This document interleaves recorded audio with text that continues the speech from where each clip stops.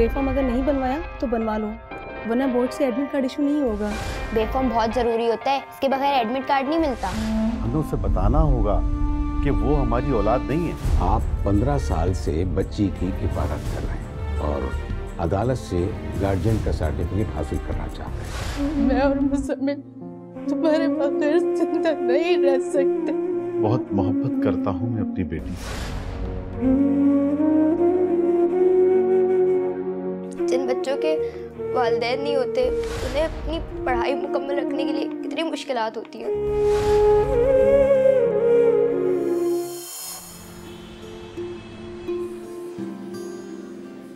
Miss miss.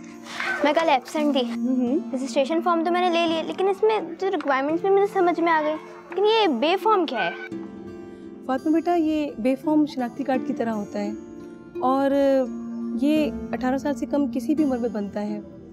इसमें जो number लिखा होता है वही शनाख्ती कार्ड में नंबर दिया जाता है। तुम्हारे अम्मी अबू ने तो बनवाया होगा उनसे पूछ लेना। और हाँ बेफॉर्म अगर नहीं बनवाया तो बनवा लो वरना बोर्ड से एडमिट कार्ड इशू नहीं होगा। मालूम है ना फॉर्म जमा करवाने की आखिरी तारीख क्या है? जी मिस मैं आज ही अम्मी को बोलती हूँ।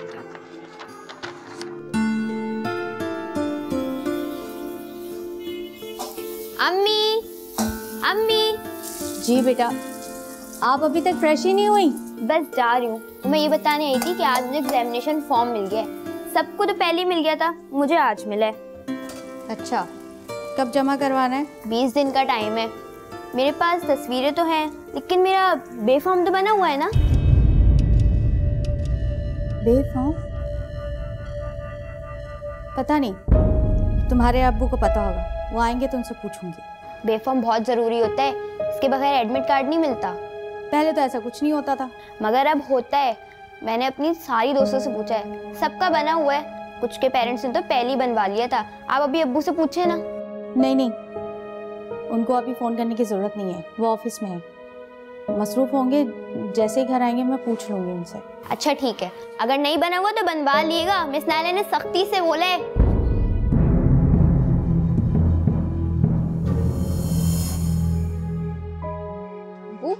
मेरा बेफार्म तो बना हुआ है ना? बेफारम? अब नहीं बेफारम तो बना हुआ नहीं है आपका। क्या?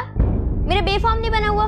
सब बच्चों का तो बना हुआ है। बेटा क्या है कि कुछ मसरूफियात ही ऐसी थी और फिर हमने कभी ज़रूरी भी नहीं समझा। बहुत ज़रूरी होता है अब्बू वरना मैं बोर्ड के एग्ज़ाम्स नहीं दे पाऊँगी। और आपको पता है ना मैं कितनी मेहनत कर रही हूँ अपने एग्ज़ाम्स की? हाँ बेटा मुझे पता है तुम तो बहुत मेहनत कर रही हो। लेकिन तुम फ़िक्र ना करो। तुम्हारा बेफारम भी बनेगा और तुम इम्तहान भी दोगी और हमेशा की तरह पोजीशन भी लेकर आओगी। ज़रूर अब्बू मैं नाइन मैट्रिक दोनों में पोजीशन भी लाऊँगी और डेंटिस्ट बनूँगी। इंशाल्लाह इंशाल्लाह। अब्बू ये बेफॉर्म कहाँ से बनता है? तो ये बेफार्म सिटी कोर्ट से हम ले लेंगे कोई मसला ही नहीं है। और हाँ कल सुबह को अपनी अम्मी से कहना कि हमें अच्छा सा नाश्ता कराए और हम दोनों बाप बेटी तैयार होकर सुबह नौ बजे जाएँगे सिटी कोर्ट।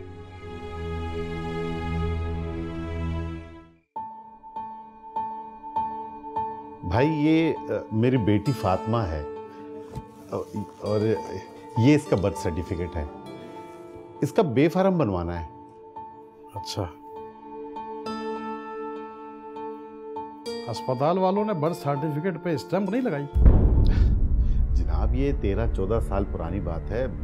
इस पर कभी ध्यान ही नहीं गया। पता नहीं वालदेन इतने लापरवाह कैसे हो जाते हैं। भाई अस्पताल की मोहर तो देखनी चाहिए ना। मोहर के बगैर ये सिर्फ़ एक कागज़ है और कुछ भी नहीं है। इस पे अस्पताल की मोहर लगवा के लाइए। उसके बाद आगे कार्रवाई होगी। सर प्लीज़ अभी आप कुछ करें। देखिए अस्पताल जाना आना और अब तो शायद अस्पताल की इंतज़ामिया भी तब्दील हो चुकी होगी। मेरी बेटी के एग्जामिनेशन फार्म जमा करवाना है। तो अभी अगर कुछ हो सके तो? ऐसा होता नहीं है। वालदेन का काम होता है हर चीज़ को देखना। भाई लोग तो अपने बच्चों के बचपन में ही बेफाम बनवा लेते हैं। लाइए शनाख्ती कर दीजिए। ये मेरा शनाख्ती।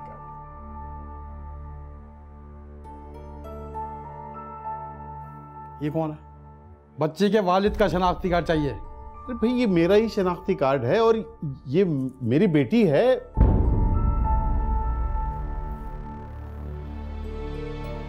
बर्थ सर्टिफिकेट पे तो बच्ची का नाम फातिमा खावर वल्द खावर अहमद लिखा है। और आप हैं मुजम्मिल असलम। जनाब कोई गलती हो गई होगी शनाख्ती कार्ड वालों से? मैं ही इसका वालिद हूँ। आप क्या यहाँ मज़ाक करने आए मेरे पास? पहले कहा कि बर्थ सर्टिफिकेट पे अस्पताल वालों ने मोहर नहीं लगाई। और अब बच्ची की वल्दियत में गलती। जब औलाद की जिम्मेदारियाँ पूरी नहीं कर सकते तो पैदा क्यों करते हो? सर यही मेरे वालिद हैं। कोई गलती हो गई होगी हम ठीक करा के ले आएँगे। हम्म आपसे ज़्यादा अक्लमंद आपकी बेटी है। अब आप लोग मेहरबानी फरमा के यहाँ से जाइए और दुरुस्त कवायद के साथ तशरीफ़ लाइए। जाइए। चलो बेटा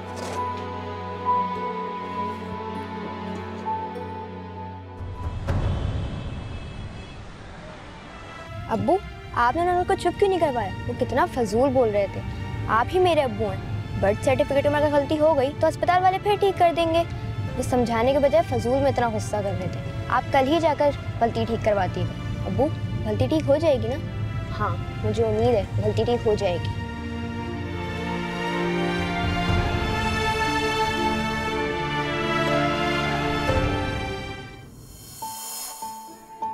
आज स्कूल क्यों नहीं आई थी? बस यार घर में ही तैयारी कर रही हूँ। वैसे भी कोर्स तो सारा ख़त्म कर ही लिया है और एग्जामिनेशन फॉर्म भी जमा करा दिया है। अब बस एडमिट कार्ड आ जाए तो वो लेना आऊँगी स्कूल। तुम बताओ तुमने एग्जामिनेशन फॉर्म जमा करा दिया? नहीं यार मेरा तो बेफॉर्म ही नहीं बना हुआ अभी। और चलो कोई बात नहीं। ये बताओ कि तैयारी कैसी है तुम्हारी? कुछ भी नहीं पढ़ा रिजा अभी तक। मुझे तो बस बेफॉर्म की फ़िक्र है।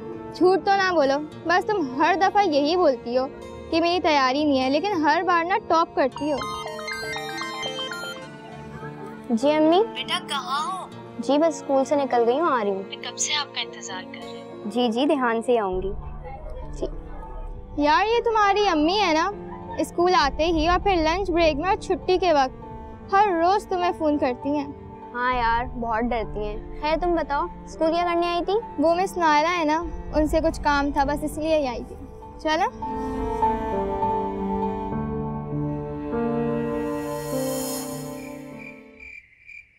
फातिमा बार बार पूछ रही है बर्थ सर्टिफिकेट का। क्या जवाब दूँ उसको? मेरी तो कुछ समझ में नहीं आ रहा कि अब क्या होगा। हमें फातिमा के किसी रिश्तेदार को ढूंढना होगा। वैसे मैंने पता किया है कोई भी रिश्तेदार खाला या चचा के साथ जाने पर भी बेफारम बन जाता है। ऐसे तो उसे सब कुछ पता चल जाएगा ना। रोजीना हमें उसे बताना होगा कि वो हमारी औलाद नहीं है। हमने तो सिर्फ़ पाला है उसे। अगर उसे पता चल गया तो वो हमसे दूर हो जाएगी। एक ना एक दिन तो उसे पता चलना ही है। ये बात छुप नहीं सकती। क्या बताएँगे उसको? यही कि उसकी माँ हमारे घर में काम करती थी। उसके बाप ने उसकी माँ को इसलिए मार डाला कि उसने एक बच्ची को पैदा किया और वो उस बच्ची को छोड़ के चले गया। यही बताएँ। और यही सच है कि अल्लाह ने हमें औलाद की नेमत से दूर रखा। और फातिमा के मिलने के बाद हमारी महरूमी खत्म हो गई। लेकिन मैं फातिमा फातिमा फातिमा बात सुनो। दरवाज़ा खोलो, फातिमा। फातिमा मेरी बात सुनो।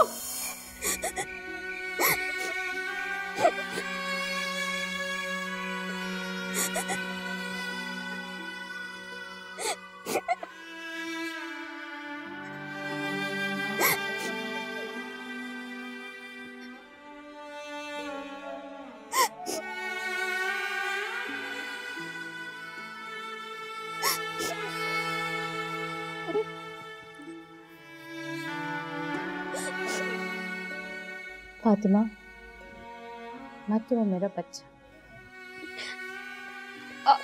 इतनी बड़ी बात मुझसे छुपाई। जिस दिन तुमने आँखें खोली उसी दिन तुम मेरी गोद में खेली। मैंने भले ही तुम्हें पैदा नहीं किया लेकिन तुम्हें हमेशा अपनी औलाद समझा। मैं और मुजम्मिल तुम्हें खुद से दूर नहीं करना चाहते थे। ये सब जानकर मुझे कितनी तकलीफ़ हुई है। जानती हैं आप? मैं समझ सकती हूँ। समझ सकती। फिर हम नहीं चाहते थे कि तुम्हें ये बात पता चले मेरे बच्चे। हमसे ये सच नहीं बयान हो पा रहा था। मुझे मुझे मुझे मुजम्मिल ने खुद कहा था इसके बेफॉर्म को बनवाने के लिए, इसके रिश्तेदारों को खुद ढूंढूँगा। खुद कहा था उन्होंने मुझसे मैं सच कह रही हूँ मुझे कुछ समझ नहीं आ रहा। मैं क्या कहूँ? तुम्हारा जो दिल चढ़ा तुम वो करो, तुम्हें जो कहना वो कहो बस इतना ज़रूर समझ लेना। मैं और मुजम्मिल तुम्हारे बगैर ज़िंदा नहीं रह सकते। नहीं रह सकते, मैं सच रही हूँ।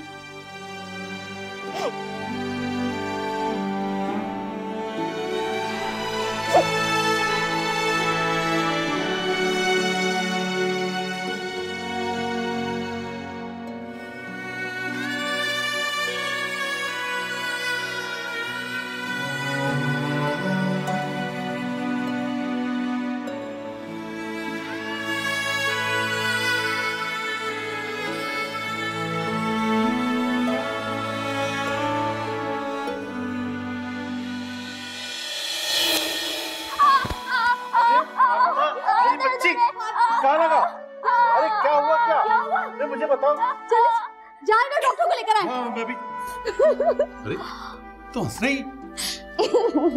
बहुत बहुत शरारतें करने लगी है? मैं तो डर ही गई थी। आदत किसकी बच्ची है अब?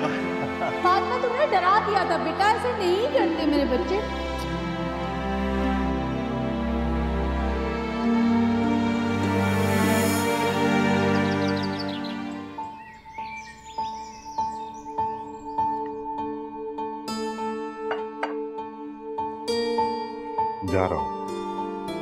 सही से नाश्ता तो कर लीजिए। नाश्ता करने को दिल नहीं कर रहा रोती ना। ऑफ़िस की छुट्टी है। मैं फातिमा के पुराने रिश्तेदारों को ढूँढने उनके पुराने मोहल्ले जा रहा हूँ।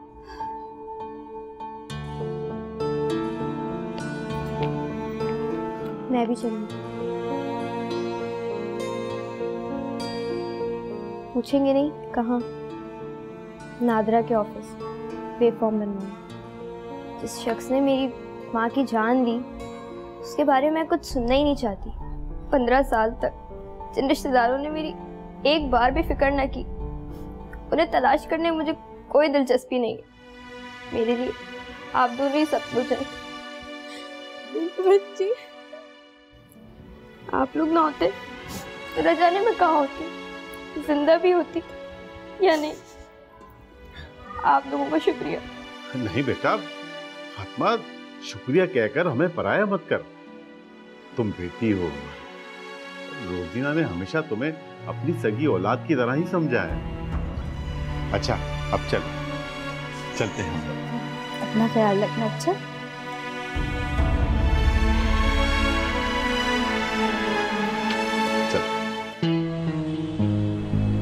तो आपका कहना है कि बच्ची के वालिदैन इंतकाल कर चुका है और बच्ची को आपने पाला पोसा है। मतलब आप इसके गार्जियन हैं। सर यही मेरे वालिद हैं। मेरा और कोई नहीं है इनके अलावा। आप प्लीज़ मेरा बे फॉर्म बनवा दें। एग्जामिनेशन फॉर्म जमा करवाने की तारीख निकल गई तो मेरा साल ज़ाया हो जाएगा। बेटा उसी के बारे में बात हो रही है। बेफाम कोई एक दिन में नहीं बन जाता। उसके लिए कुछ शराइत होती है। जैसा कि मैंने आप लोगों को पहले बताया था कि वालदेन में से किसी एक को साथ आना होता है। अगर वालदेन नहीं है तो कोई रिश्तेदार आएगा। अगर रिश्तेदार भी नहीं है तो दरख्वास्त गुजार जिसके साथ रह रहा है उसका साथ आना लाजमी है जैसा कि आप। तो मैं आया हूँ। अब इसमें क्या दिक्कत है? इसमें दिक्कत ये है मियाँ कि आप बच्ची के गार्जियन तो हैं मगर कानून की नज़र में नहीं। उसके लिए आपको अदालत से लिखवा कर लाना पड़ेगा कि बच्ची आपकी सरपरस्ती में है और उस पर अदालत की मोहर ज़रूर होनी चाहिए। जिस दिन ये काम होकर आ जाएगा बच्ची के बेफाम की कार्रवाई आगे बढ़ जाएगी। देखिए भाई अदालती कार्रवाइयों में तो बहुत वक्त लगेगा। अभी कुछ हो सकता है? अदालत की एनओसी ज़रूरी है। उसके बगैर काम नहीं होगा। एक बात और बच्ची के वालिदेन का डेथ सर्टिफिकेट चाहिए दोनों का। दोनों का? इनमें से किसी एक का डेथ सर्टिफिकेट नहीं चल सकता। काम चलाने का वक्त गया भाई साहब। अब काम होता है। वैसे आप बंदे मुझे कुछ गड़बड़ लग रहे हो। ये आप ही की बेटी है ना? ये क्या बेतुकी बातें कर रहे हैं आप? अरे ये मेरी बेटी है और मैं ही इसका बाप हूँ। मुझे तो मामला पहले ही गड़बड़ लग रहा था। जाओ मियाँ आप आप कोर्ट जाओ। और अब की बार जब यहाँ आओ तो मुकम्मल कवायद के साथ आना। वरना अंदर घुसने नहीं दूँगा। भेजो दूसरे को।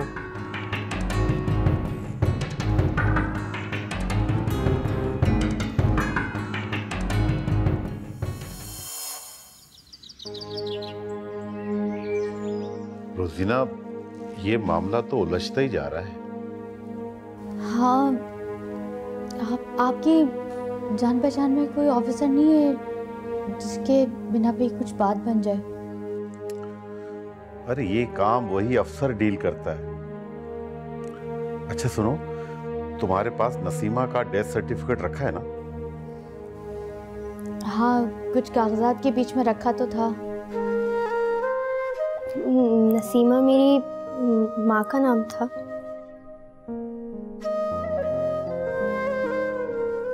हाँ। अम्मी आप प्लीज़ अभी ढूंढ लेना या मुझे बताएँ मैं ढूंढती हूँ। नहीं मैं खुद ढूंढती हूँ।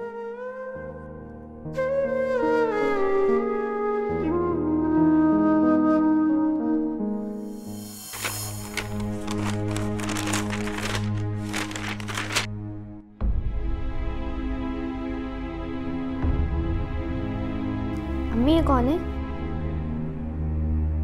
ये तुम्हारी अम्मी है।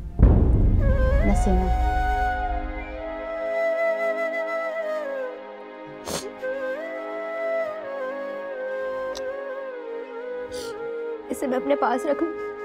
हाँ बेटा तुम अपने पास ही रख लो इसे।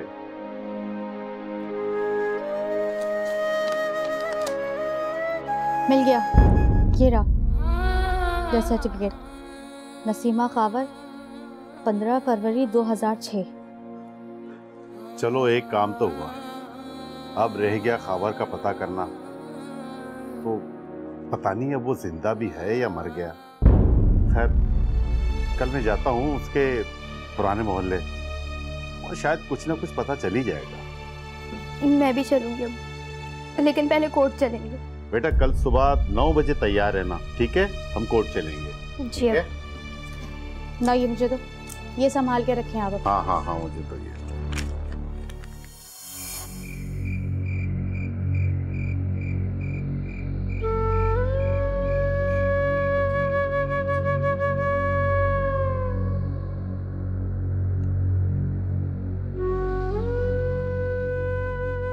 फातिमा। फातिमा बेटा रात बहुत हो गई है। सुबह बहुत काम है। सो जाओ। नींद नहीं आ रही अम्मी तुम परेशान मत हो। तुम्हारा बे फॉर्म इंशाल्लाह ज़रूर बन जाएगा। जी। अम्मी? हाँ? ये कैसी थी कि बोलने चालने का अंदाज काम करने का अंदाज? ने क्या पसंद था?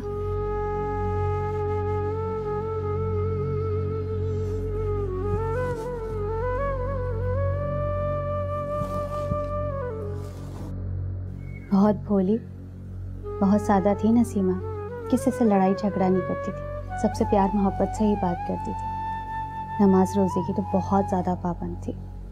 और कोई काम दे दो तो वो वक्त पे ही करती थी। मगर बातूनी तो बहुत ही थी। फिर भी इन्हें मार दिया। अम्मी बेटियाँ बुरी तो नहीं होती? बेटियाँ कभी भी बुरी नहीं होती हैं बेटा। कहते हैं कि जिसके घर में बेटी पैदा होती है अल्लाह पाक उस घर की कफील का हाथ थाम लेता है।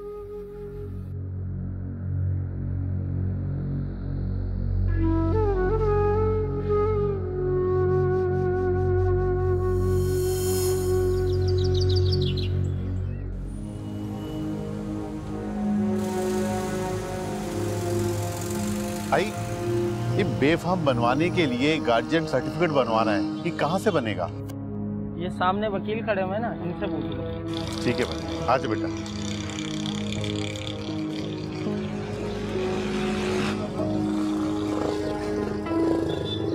अस्सलाम वालेकुम भाई। सलाम भाई ये मेरी बच्ची है इसका बेफाम बनवाने के लिए गार्जियन सर्टिफिकेट बनवाना है। क्या तरीके कार होगा? जनाब बिल्कुल बन जाएगा पर बीस हज़ार रुपये लगेंगे। अरे भाई पैसे आपको मिल जाएँगे पर काम कैसे होगा? अरे जनाब आप काम की फ़िक्र ना करें। अभी आप मुझे बीस हज़ार रुपये दें और कल इसी वक्त आके मुझसे सर्टिफिकेट ले लीजिएगा।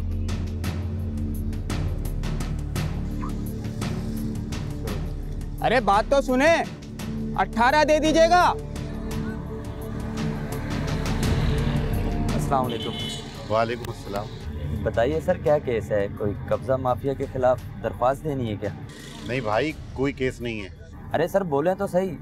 जायदाद का मसला है तलाक लेनी है या फिर कोई मर्डर केस? अरे भाई आपसे कहा ना कोई केस नहीं है। वो देखो वो मुझे बड़े वकील लग रहे हैं। आइए चले उनसे बात करते हैं। हाँ ठीक है बेटी चलो। सर बात तो सुनिए।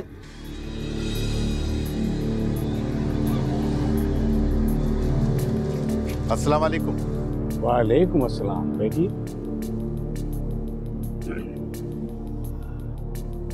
बैठो बेटा। जी फरमाइए। सर ये मेरी बच्ची है। माशाल्लाह। इसके बेफाम के लिए अदालत से गार्जियन सर्टिफिकेट बनवाना है तो जरा जल्दी बनवाना है। जल्दी? जल्दी का काम तो शैतान का होता है। मुझे सिर्फ़ दो मिनट दीजिए मैं अपना काम मुकम्मल कर लूँ। फिर हम चैम्बर में चलकर तफसील से बात करते हैं ठीक है? ठीक है। देखिए, बात यह है कि कि ये जब पैदा हुई थी तो इसके बाप ने इसकी माँ का कत्ल कर दिया और उसके बाद फरार हो गया। जब से बच्ची हमारे यहीं पली पड़ी हुई और हमने बहुत प्यार और नाज से इसे पाला।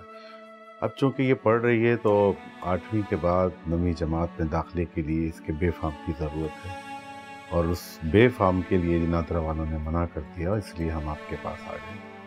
कि आप प्लीज़ कुछ करें ताकि बच्ची का ये साल ज़ाया ना हो देखिए कोई भी अदालती काम आसान नहीं होता और आपका ये केस आसान नहीं है।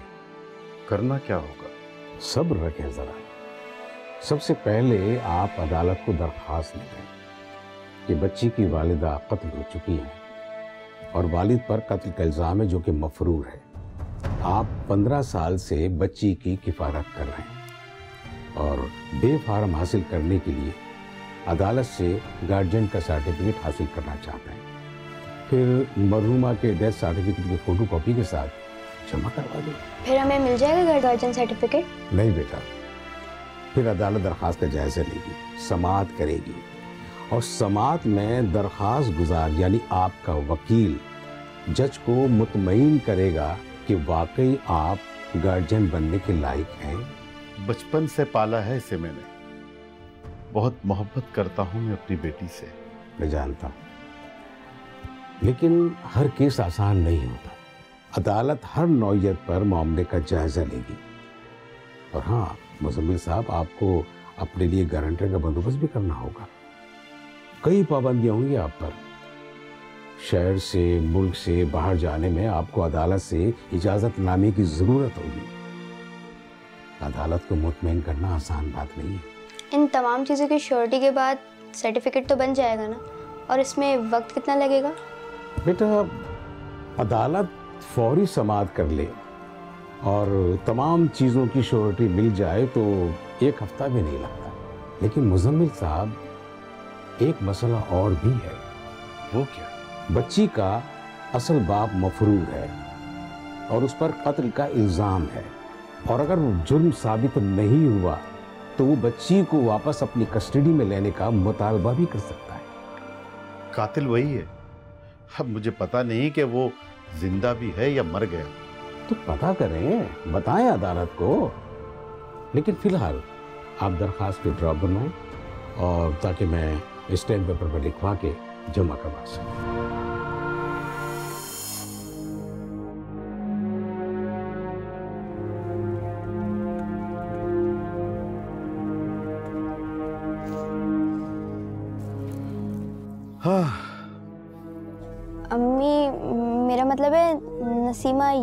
रहती थी हाँ मैं उसे अक्सर यही घर छोड़ने आया करता था। कौन सा घर है? बस वही याद नहीं आ रहा। चल के देख लेते हैं।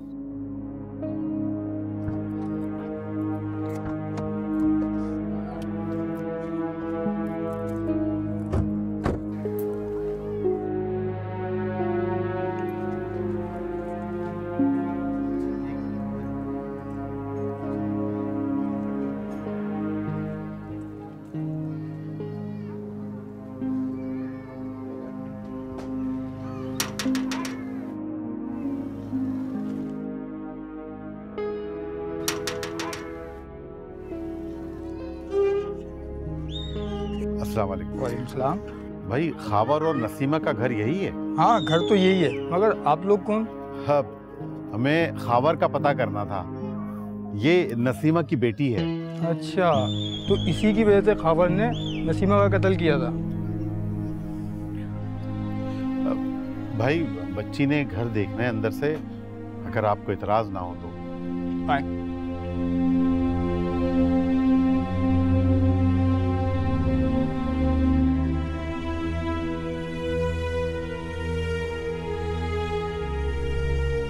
भाई आप यहाँ अकेले रहते हैं? जी काफ़ी अर्सा हो गया। खरीदा है? नहीं खरीदा नहीं है वो एस आई सिकंदर था ना उसने मुझे यहाँ रहने के लिए कहा है कि कहीं इस घर के ऊपर कब्जा ना हो जाए। अच्छा वो ऐसा ही जो इस केस की तफ्तीश कर रहा था कहाँ है वो? वो तो इंतकाल कर गया। खावर के रिश्तेदार भी तो यहाँ रहते थे? हाँ एक उसका चचाजाद भाई यहाँ पे रहता था लेकिन वो आठ साल हो गए यहाँ से वो भी चला गया। तो खावर कभी आया यहाँ? ये तो नहीं मालूम। अच्छा खावर के बारे में अगर कुछ पता चले तो मुझे इस नंबर पर पता चले। ठीक है। अब्बू मैं इस घर में पैदा हुई थी। हाँ।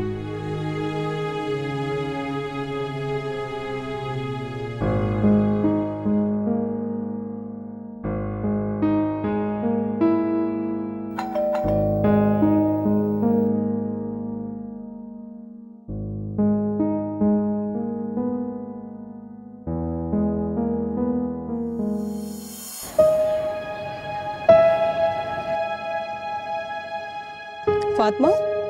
फातिमा? जी मिस। तुम्हारा बेफॉर्म नहीं बना अब तक? जी मिस एक दो दिन में बन जाएगा। बेटा एक हफ़्ता रह गया है और तुम्हारा एडमिट कार्ड रुक जाएगा। बेफॉर्म जल्दी से बनवाओ और जमा करवाओ। जी मिस। ठीक है?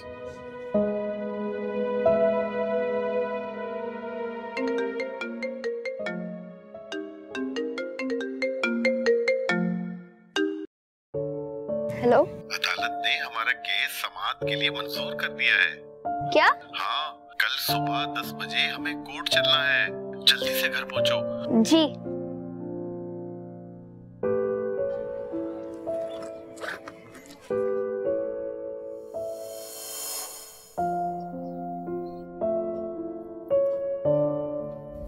फातिमा आओ बेटा खाना खा लो। मुझे तो बहुत खुशी हो रही है। कि कल अदालत तुम्हारी दरख्वास्त सुनेगी। जी।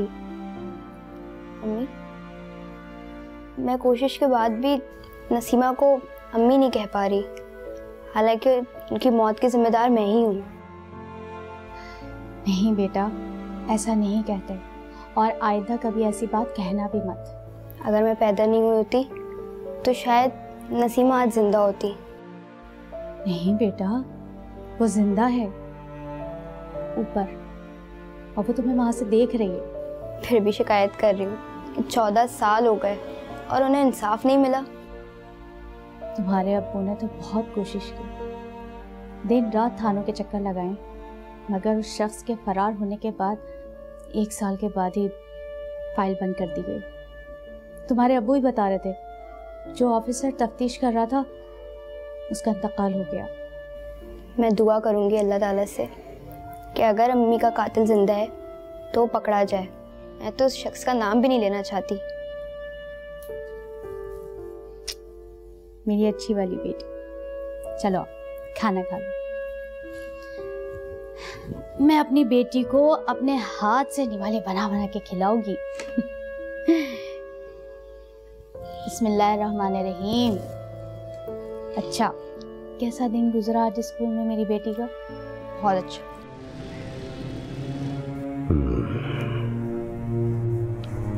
मुजम्मिल साहब अदालत ने आपकी गार्जियनशिप को फातिमा के हकीकी वालिद खावर की डेथ सर्टिफिकेट से मशरूत किया है। और अगर वो ज़िंदा है तो पुलिस को उसे गिरफ़्तार करने का हुक्म दिया है। अब क्या होगा? देखो जितनी जल्दी हो सके हमें मालूम करना होगा कि खावर ज़िंदा है या नहीं। वैसे आपको क्या मालूम हुआ? बस यही पता चला है कि खावर गाँव भाग गया है। किस गाँव भागा है कहाँ गया है ये पता नहीं चल सका। और वो ज़िंदा भी है या मर गया है कुछ मालूम नहीं। हमें ये भी पता हो जाए ना कि खावर ज़िंदा है तो हम उसको गिरफ़्तार करने के लिए अदालत से दोबारा रुजू हो सकते हैं। फातिमा फातिमा मेरी बच्ची तो क्यों रो रही है? नहीं नहीं मत रो। मैं मैं कुछ करता हूँ। आज ही कुछ करता हूँ और हर हाल में पता करता हूँ। ना रो। बेफॉर्म नहीं बना मेरा। तो साल जाया हो जाएगा अबू। नहीं मेरा बच्चा साल जाया नहीं होगा। मैं कुछ करता हूँ। कुछ करता हूँ मैं। वकील साहब मुझे इजाज़त अच्छा ठीक है।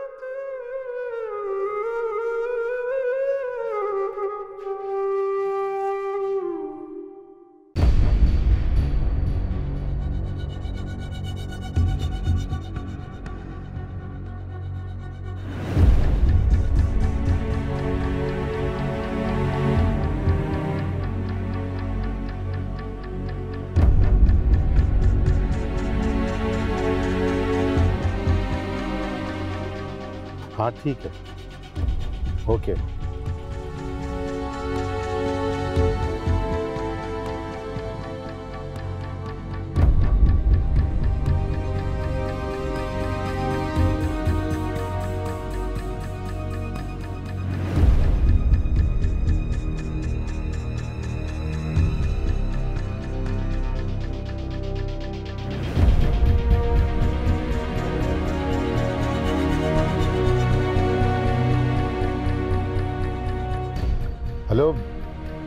भाई, आपका बहुत शुक्रिया। आपने बर वक्त इतला कर दी।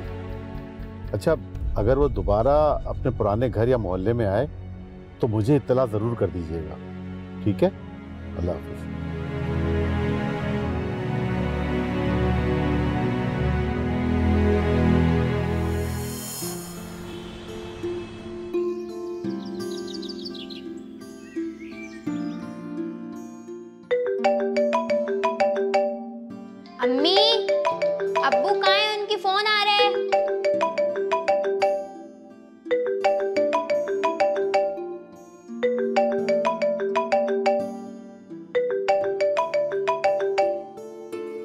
अस्सलाम वालेकुम जमाल अंकल।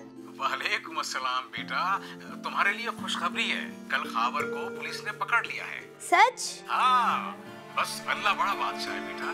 मैंने फौरी समात की दरखास्त दे दी थी। कल अदालत बुलाया है।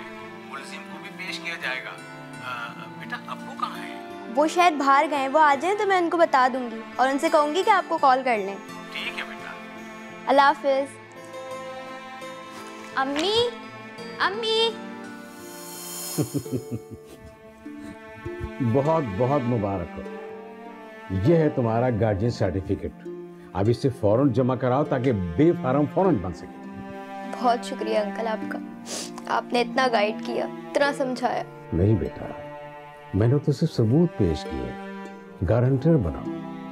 असल में शुक्रिया अदा करो मुजम्मिल साहब का अपने अब्बू का जिन्होंने मालूमात करके खावर को ढूंढा। उसके घर को तलाश किया और वहाँ उसको पुलिस को इतला देकर गिरफ़्तार करवाया। और मज़े की बात यह है कि खावर ने चौदह साल बाद एतराफ जुर्म कर लिया। अदालत ने फैसला महफूज कर लिया है, लेकिन मुझे लगता है कि उसे फांसी की सजा होगी।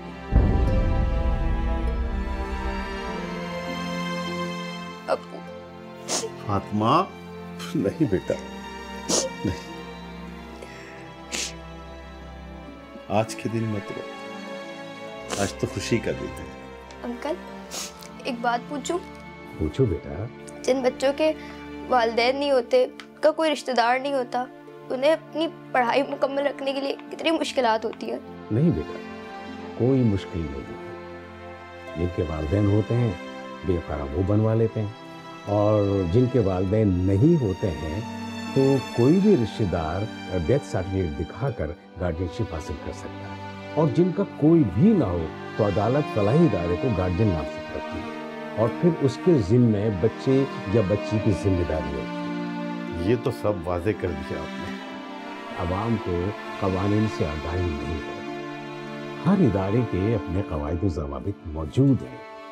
कोई इदारा किसी के साथ ज्यादती नहीं करता है। मालूम में लापरवाही बरतना हम खुद अपने साथ ज्यादती करते हैं। और फिर मलबा किसी और डाल देते हैं। सही कहा आपने। बिल्कुल ऐसा ही है।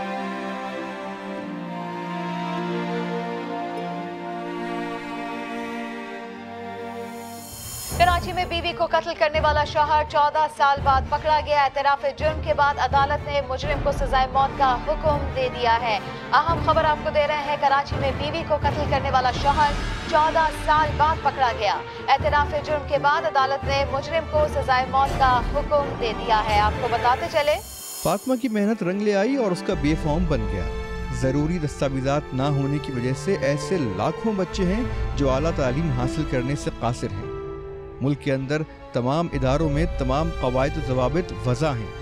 अवाम की अपने हकूक और कवानीन से आगही ना होना मसाइल पैदा करती है। इस जिम्न में हुकूमत की ज़िम्मेदारी है कि वो आवाम को आगही फरहम करे।